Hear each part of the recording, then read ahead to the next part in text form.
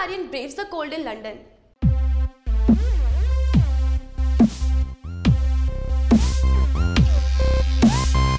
Hey Scoopers, that's right. Kartik Aaryan, who is shooting for Athithi in London, in London, has been braving zero degree weather.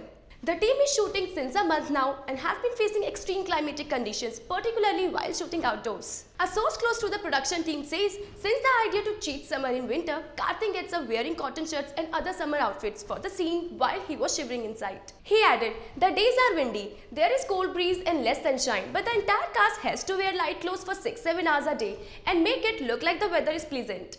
Well, Kartik, we appreciate your efforts. Keep it up, boy. For more gossip meals, subscribe VScoop and hey, make sure to hit like and share VScoop Bollywood Real Revealers.